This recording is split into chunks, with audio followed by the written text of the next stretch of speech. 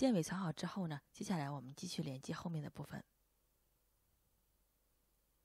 这个地方是这个包底的部分的连接，大家看一下，十二行对应十二针，就这样连接起来。那么把这个包底连接好之后呢，我们再继续顺着往上面连接就可以了。大家跟着我来连一下。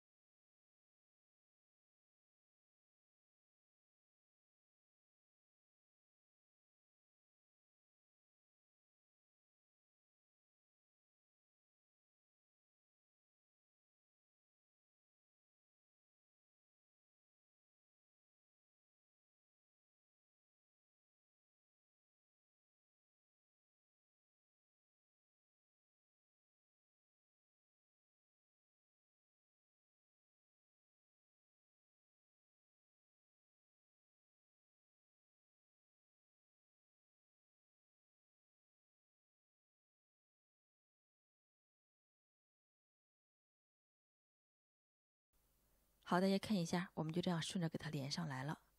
最后这个地方也给它连接好。连接好之后，大家注意看一下，我们这一圈就连接好了，把侧面和主体部分连在一起了。然后呢，我们再把上面这一部分一针对应一针的给它勾起来就可以了。那么这一部分我们在勾的时候呢，勾成引拔针。大家注意看一下，穿针把线勾住，拉过来。然后直接带到后面线圈，这样就可以了。第二针穿针，把线勾住拉过来，带到后面线圈，就这样一针对应一针的勾过去，勾引拔针，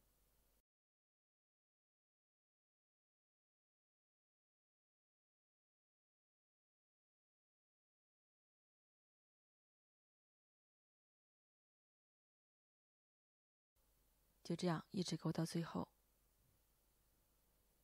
好，勾好之后呢，我们先把这一部分的线呢给它剪断，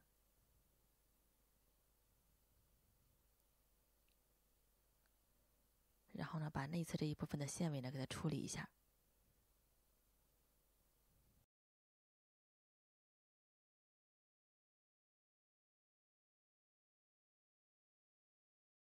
好了，我们把这个线尾这一部分处理好之后呢，接下来我们继续连接这个侧面的部分。就这样比对好，顺着连下去就可以了，和这一面连接方法是一样的。就这样顺着连接起来就可以了。中间呢该换色换色。就这样顺着这样连上来，然后这样一直勾勾过来，勾到这个地方停下来就可以了。大家跟着我呢，按照刚才的方法把这个侧面也给它连接好。那么这一部分呢，我就不再详细的录制了。好，大家看一下。我们就把这一侧给它连接好，这样顺着给它勾上来，一直勾到最上面这个地方。因为我们知道我们最上面这一行已经勾了一行的这个短针了，对吧？所以上面就不用再勾了。我们直接勾到最上面这个地方，最上面这一行对应勾上一个短针，然后把线拉长，留一个线尾，直接剪断。然后呢我们来进行一下这个连接。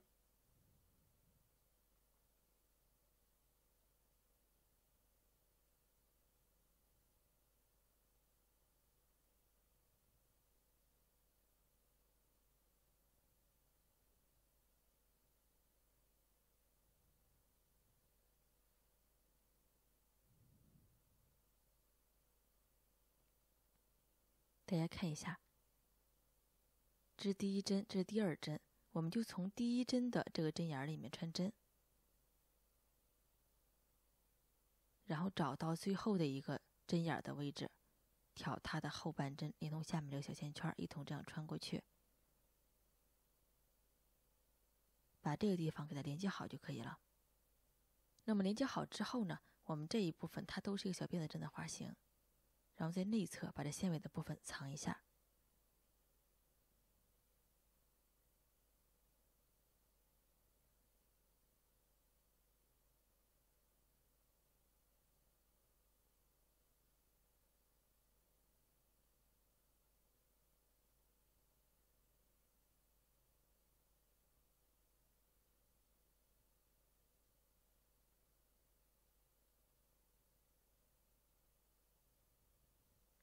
线尾藏好，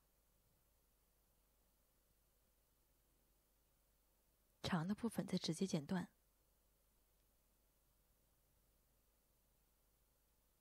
好，大家看一下，我们这个主体部分就完成了。上面是这个包盖的部分，然后呢，下面是主体的部分，这一部分就完成了。然后接下来呢，我们需要在这个包盖上面给它钉上这个扣子的部分。外面呢需要钉一颗这个圆形的板扣作为这个装饰，然后内侧呢需要钉上这个磁力扣，非常简单。我们来缝一下，扣子呢就给它钉在这个最中间的这个位置就可以了。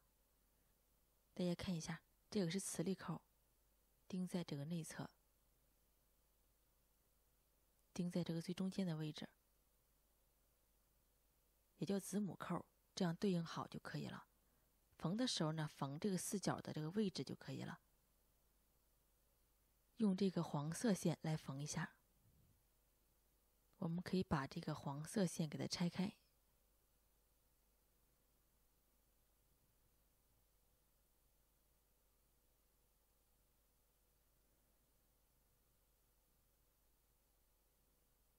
穿到这个缝合针里面。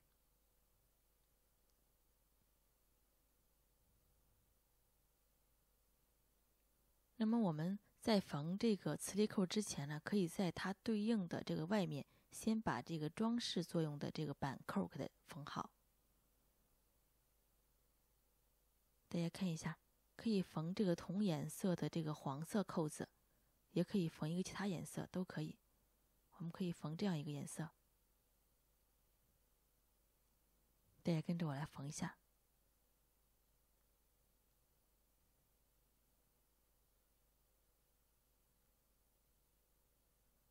把这个扣子缝好。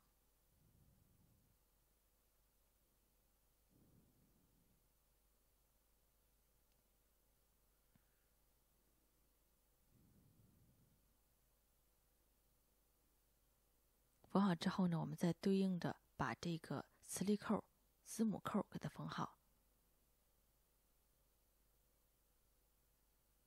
缝的时候呢，只缝这个四角的这个位置。